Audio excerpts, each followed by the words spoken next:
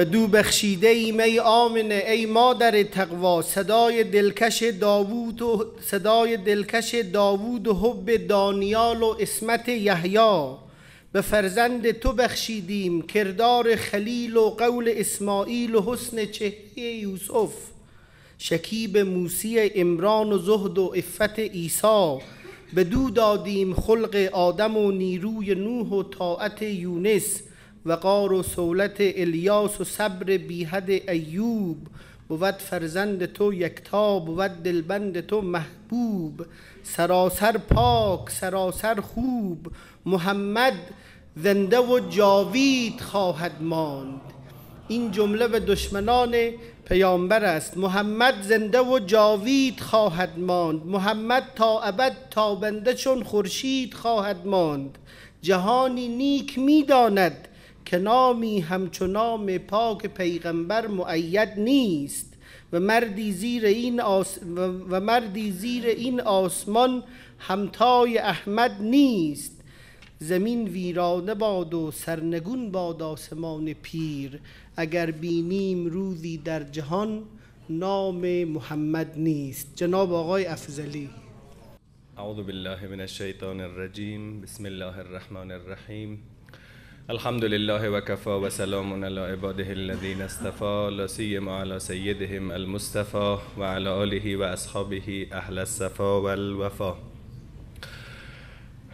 به اندازه کل و عزیزانی که از صبح تا حالا حرف زدن ما هم حالا فرصت داریم که ارزیابی و نقادی و نکته سنجی داشته باشیم و جمعبندی.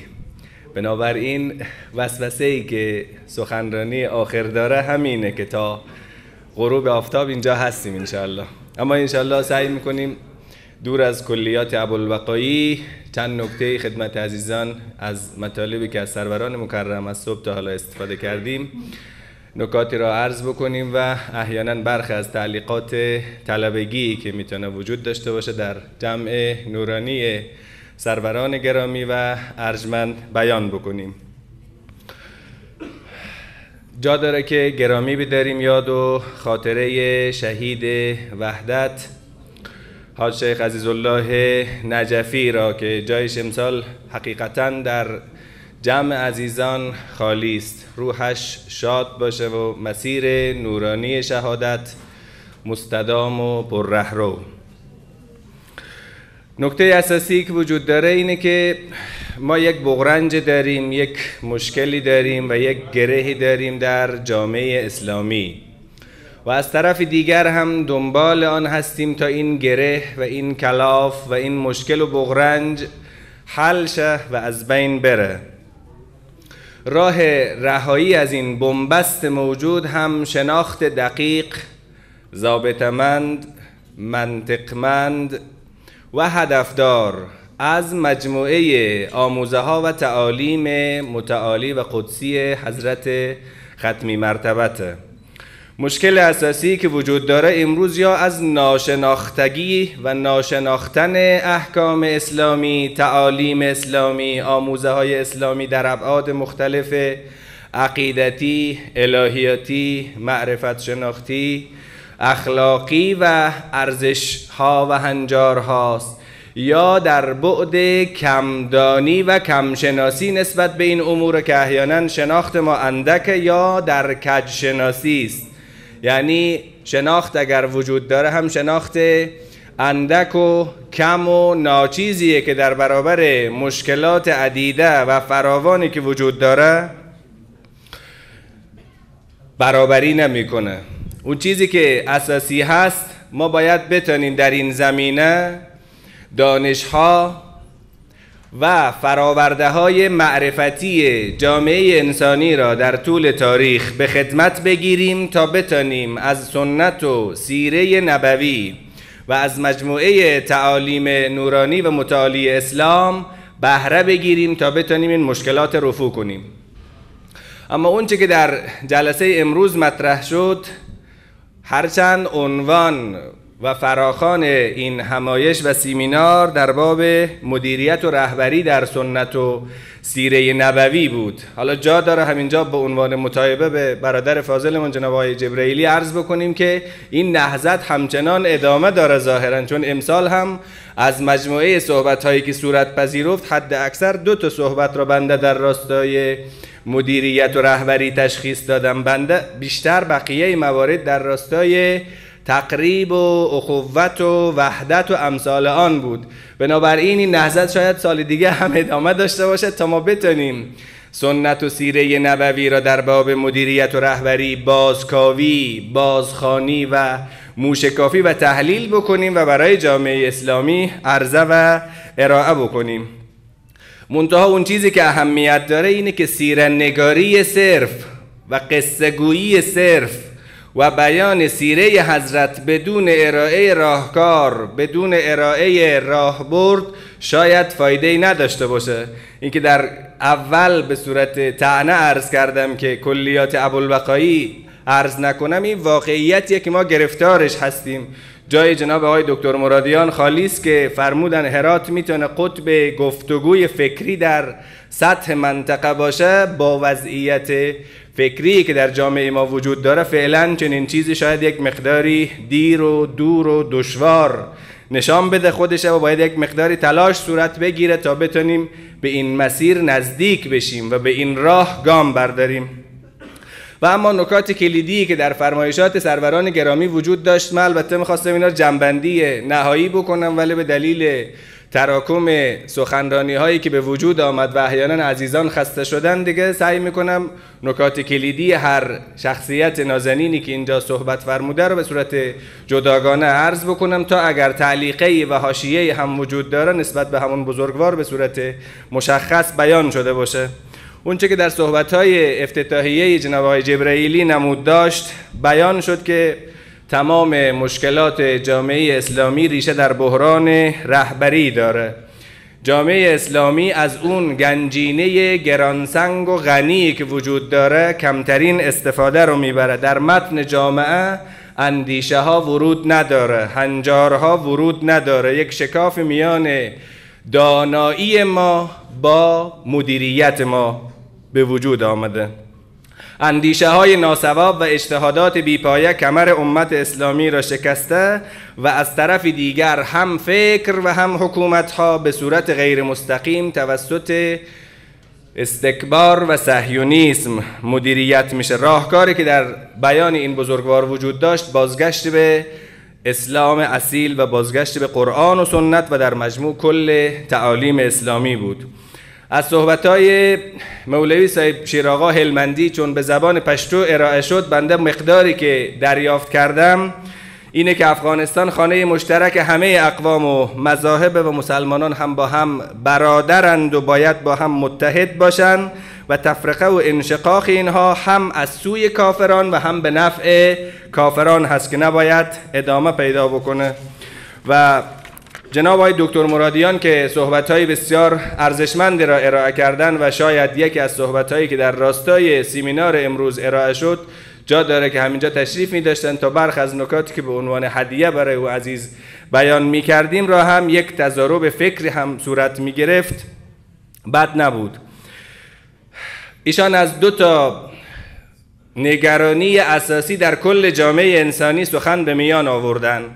یکی جایگاه اسلام در جغرافیای معرفتی جامعه انسانی و دومی تفاوت‌های فرهنگی جنسیتی، نژادی، مذهبی و امثال آن در سراسر جهان که با استفاده از منشور 47 مادهی مدینه حضرت ختمی مرتبت در راستای رفع هر دو مشکل الگوگیری و الهامگیری از این منشور را پیشنهاد فرمودند که نکته های بسیار ارزشمندی در بیان ایشان وجود داشت که چند اصل از اصول این منشور را بیان کردند. این اصول بسیار ارزشمند بودن اصل گفتگو و مشورت اصل وحدت اصل قانون مداری عدالت محوری آزادی عقیده پذیرش تنوع جنسیتی برابری در برابر قانون و امثال اینها. از میان این مجموعه اونچه که به خود جناب آقای دکتر مرادیان هم عرض کردم و حالا هم در جمع نورانی شما بزرگواران عرض می کنم بحث آزادی عقیده است که فرمودن پیامبر نازنین اسلام دنبال توحید عقیدتی نبودن.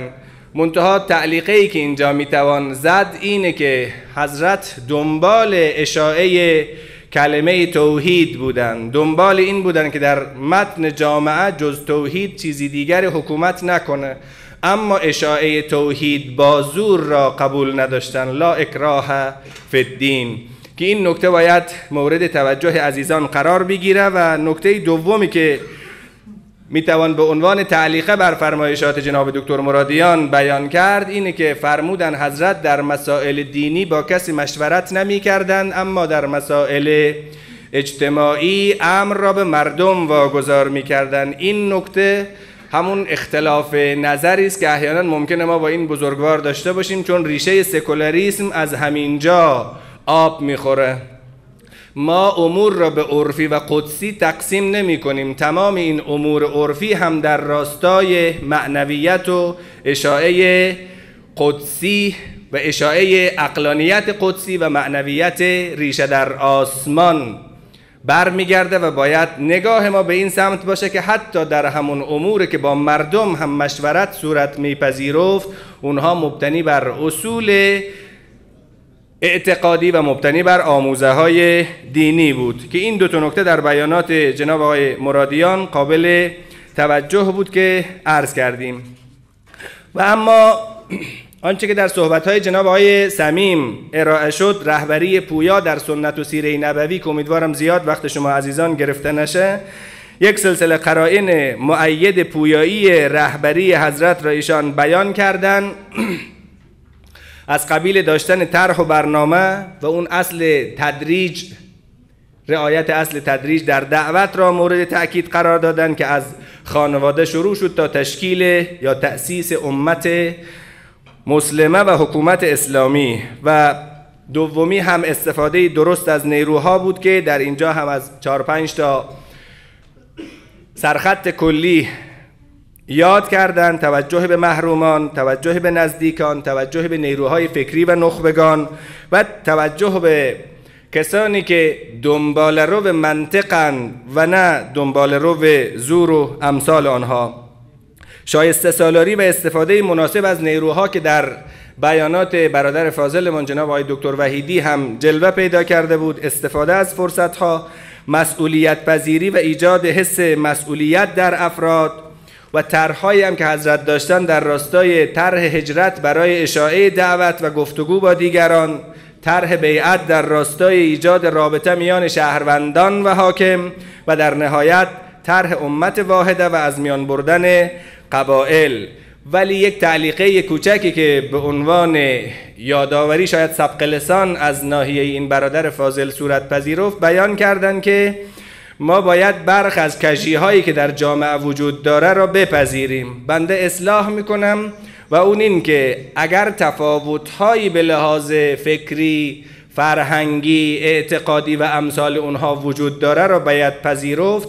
ولی اگر کجی ها و کاستی هایی وجود داره کجی ها و کاستی ها را با برنامه دقیق باید زدود و از بین برد. نه اینکه ما با کجی ها کنار بیاییم. این نکته شاید سبق لسان بود از ناحیه اون برادر بزرگوار. و در پایان محفل صبح صحبت های حضرت آیت الله علوی نژاد نکته های ظریفی بیان شد. عواملی در راستای شناسایی مشکلات جامعه اسلامی برشمرده شد از جهالت از تربیت های نادرست تأثیر کیش شخصیت و عناصر موجود در معلفه های موجود در شخصیت یک انسان در دین پژوهی و دین فهمی مورد توجه قرار گرفت. سطحی نگری، جزئی نگری و نداشتن فهم سیستماتیک و نظاممند و شبکه‌ای عامل دیگر تلقی شد و برنامه ریزی دشمنان برای ایجاد تفرقه در میان امت اسلامی که در این راستا از رسانه های غرب بنیاد ظاهرا شیعه و همینطور رسانه های غرب بنیاد ظاهرا سنی سخن به میان آمد و لزوم براعت از این افراد که اینم جای تشکر داره. و همینطور نکته اساسی که بیان فرمودن فاصله ای که میان امروز جامعه اسلامی با سلوک پیشوایان دینی بیان شده و اینکه جناب ابو حنیفه به عنوان مدافع حریم ولایت جانشان را از دست دادن که ما هم همینجا اضافه کنیم. همینطور جناب شافعی در رکاب بنو حسن از فلسطین در مقابل دستگاه خلافت جهاد می‌کردند و لزوم بیان مطالب تقریبی در محافل شیعی توسط نخبگان شیعی و همینطور بیان مطالب تقریبی از سوی نخبگان اهل سنت در محافل و در میان مجامع سنی.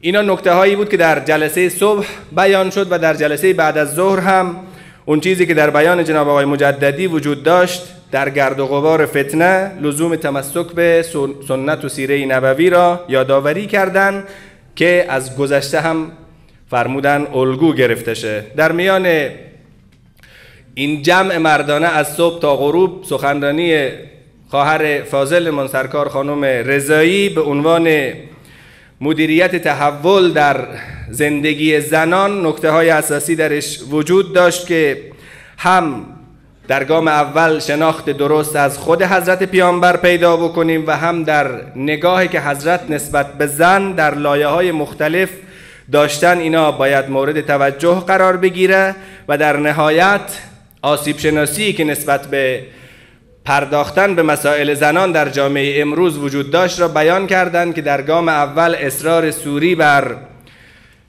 حقوق زن و عدم تأکید بر وظائف و حقوق به صورت متقابل بود. راهبردهایی که بیان شد ارتقای آگاهی زنان و همینطور ارتقای آگاهی مردان نسبت به زنان از منظر اسلام و از طرف دیگر تقویت ارزش ها در سطح جامعه که از دو کلیدواژه افاف و کفاف سخن به میان آوردن و افاف را در دو لایه فردی و اجتماعی که در لایه فردی پیشنهاد تزریق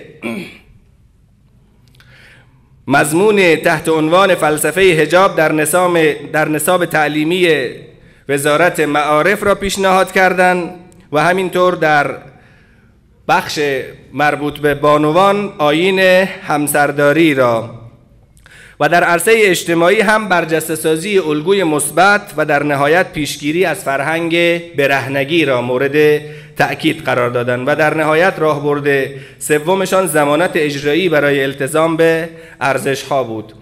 در سخنان سرپرست محترم مقام ولایت هم عامل اساسی بغرنج موجود در جامعه اسلامی فاصله گرفتن از سنت نبوی برشمرده شد که راهکار هم بازگشت به سنت نبوی و البته تأکید بر این که باید به وحدت به صورت عملی ملتزم شد. بیان راهکارهای تئوریک یا بیانهای شیک در عرصه نظریه پردازی راهکار نیست. جهت گرهگشایی از این کلاف سردرگم در جامعه اسلامی. در بیانات جناب آقای وحیدی هم از جناب آقای دکتر حدید هم از چهار تا اصل در شیوه رهبری حضرت با شیوه رهبری مدرن مقایسه صورت پذیرفت که تحلیل درست از اوضاع جامعه تمرکز روی کلمه توحید و توحید کلمه همسو کردن منابع و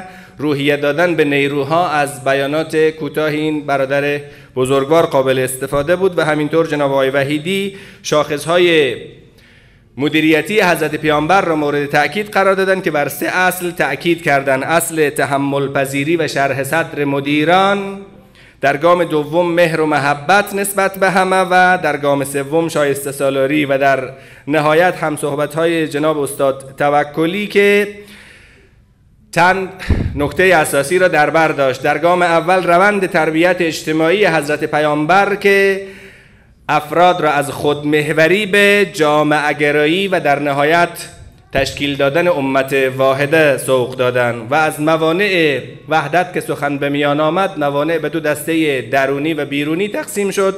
موانع بیرونی هم به سیاست های بیگانگان احزاب و گروه ها و منافقان نسبت داده شد و موانع درونی هم به حسادت و سوء زن و اداوت و عدم شناخت درست راهکارهای هم که بیان شد معمولا همون چیزهایی بود که دوستان قبل از اون هم بیان کرده بودن همکاری و تعاون در اصول مورد اتفاق معذور دانستن در امور مورد اختلاف احتراز از تکفیر و تفسیق معاخذه نکردن به لوازم رأی و نظر و رفتار محترمانه با پیروان سایر مذاهب. این حاصل تمام فرمایشات سروران مکرم از صبح تا حال بود. اما بنده فقط به عنوان حسن ختام دو سه تا پیشنهاد دارم و تمام می‌کنم. در گام اول چه خوبه که ما میان برنامه های سیاسی اجتماعی و فرهنگی با سمینارهای علمی یک تفاوتهایی را قائل شیم. اگر این تفاوت به وجود بیایه اون وقت انتظار ایر داریم و اون چیزی که جناب آقای دکتر مرادیان بیان کردن خطه باستانی هرات به عنوان قطب گفتگو و قطب تفکر می‌تونه در این منطقه دوباره سر بلند بکنه و حتما این کار انجام میشه. و در گام دوم چه خوبه که بروشور این همایش در خدمت عزیزان باشه که کدام بزرگوار در چه ساعتی چه کار را انجام میده و چه سخنرانی را خواهد داشت که حتما و عزیزانی که علاقه من هستن به همون لحظات حضورشان اگر دوست داشته باشن حضور پیدا کنن. و نکته سومی که وجود داره اینه که دوست داریم در مجامعی که به صورت عالمانه و علمی برگزار میشه اون فردی که احیانا از راههای دور از ولایت های دیگر از هلمند و از خراسان و از جاهای دیگر حضور پیدا می‌کنن به احترام اونها ما که میزبان هستیم برخ از امور را حتما رعایت بکنیم. برای ما یک مقدار ناخوشایند بود که در حین صحبت ها و سخنرانی اساتید بزرگوار دوستان ما یک مقداری نگاهشان نگاه شاید دقیق نبود شاید استفاده از وسایل و ابزارهای اطلاعاتی و ارتباطی در این ساعتها شاید نکته مناسبی نباشه. این به عنوان یک نکته ای که از زاویه دید یک طلبه ای که شاید یک مقدار زبان انتقادی داره عرض می‌کنم مناسب تر باشه که حتما مراعات شه. و اگر لوازم و اصولی که مرتبط هست با یک سمینار و همایش علمی مراعات بشه که قطعا اینا رو ما بیان خواهم کرد. اما چون ممکنه حرف ما تریبونی میشن برای اغلب این عزیزانی که اینجا نشستن و با حوصله مندی گوش میدن تریبونی میشن برای بیان حرفهای این عزیزان که انشالله حتما از این به بعد مراعات خواهد شد. اما اون نکاتی که به ذهنمان می‌رسه در جمع نورانی عزیزان ستاد تشکیل دهنده این همایش حتما بیان خواهیم کرد. لطف کردید و بزرگواری از این که در این لحظات پایانی که خستگی از تمام وجودتان پیداست تحمل کردید و صبوری و حوصله به خرج دادید. و آخر دعوانا ان الحمد لله رب العالمین. و السلام علیکم و رحمت الله و برکاته.